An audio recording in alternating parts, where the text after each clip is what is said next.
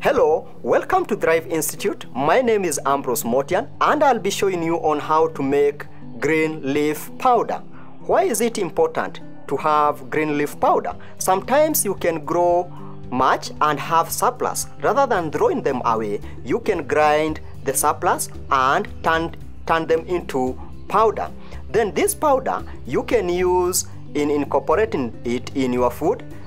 Maybe sometimes you don't have fresh greens but by adding this green powder you'll still have the same same nutrients that you will acquire from the fresh greens. So join me as i take you through this process and i'm sure by the end of the day you can be in a position to make such green powder at your own. Thank you.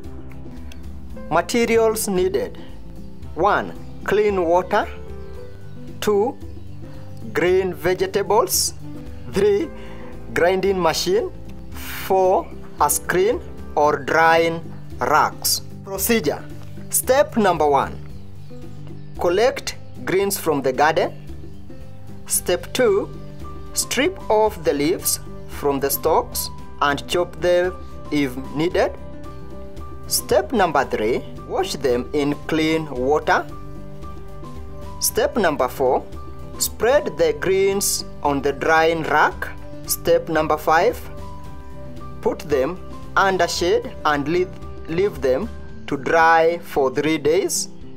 Step number 6 Using the grinding machine, grind them and then after that, you can store your green powder in a cool, dry place for future use.